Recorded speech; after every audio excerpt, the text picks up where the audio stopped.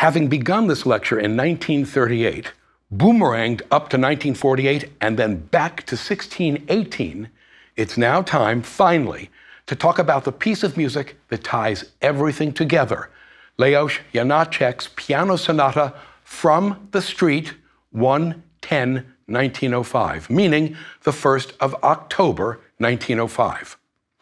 The title refers to a protest that began in Brno on October 1st, 1905, and that climaxed with the killing of a protester on the following day. The two movements of the sonata correspond with the events of those two days. The first movement is entitled The Presentiment, and the second movement is entitled The Death.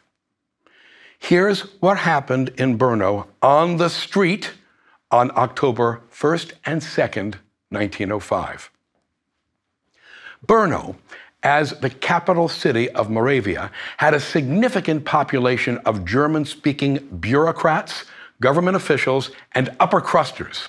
In fact, the last census conducted by the Austrian government in 1910 revealed that Brno proper had twice as many native German speaking inhabitants as Czech speakers.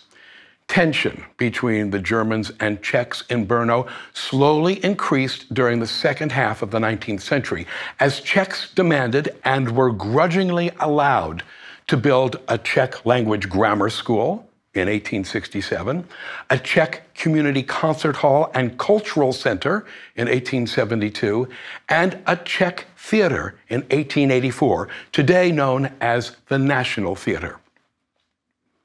The bad blood between the Czechs and the Germans went from simmer to full boil during the first years of the 20th century. The decisive issue was higher education. In 1901, Czech parliamentarians in Bohemia and Moravia demanded that a Czech language university be established in Brno to complement one already established in Prague.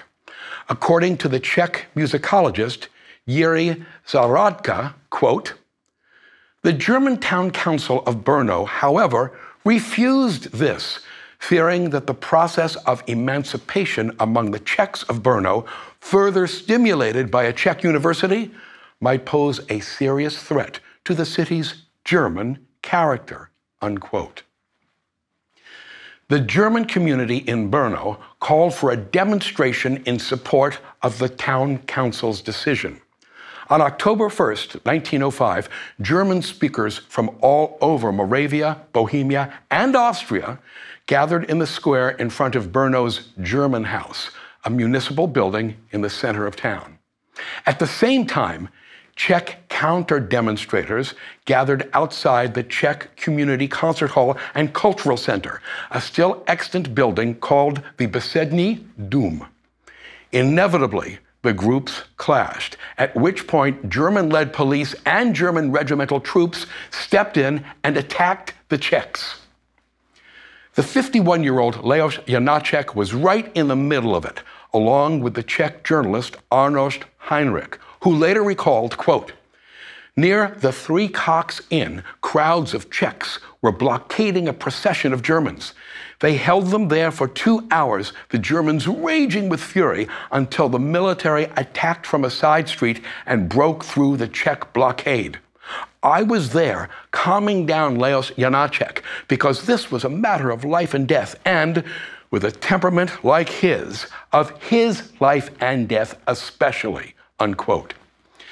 Things came to a head the next day on October 2nd when the military again attacked a Czech demonstration right outside the entrance of the Czech Community Concert Hall and Cultural Center.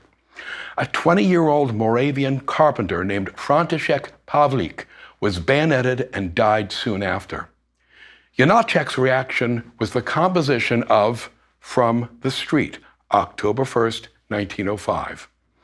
In the preface to the score, he wrote, quote, the white marble of the steps of the Besední Dům, the Czech Community Hall in Brno. The ordinary laborer, František Pavlík, falls, stained with blood.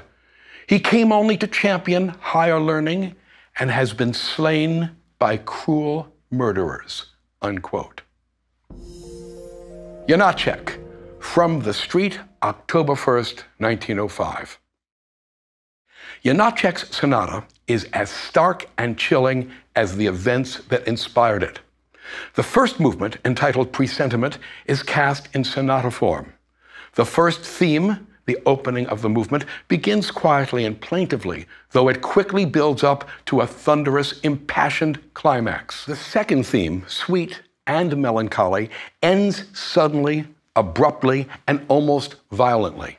The movement ends with the same almost violent abruptness. Very powerful. The second movement, entitled The Death, is simply extraordinary. It begins hesitantly and mysteriously. The movement builds up to a gut busting climax before receding back to the hesitant, mysterious place from which it began. This movement is not about the death of young František Pavlík per se. No, the movement is much more private, much more intimate than that. It is about Janáček's own reactions to František Pavlík's death, his wonder and rage over how such a senseless thing could take place, and his grief that such a thing did indeed take place.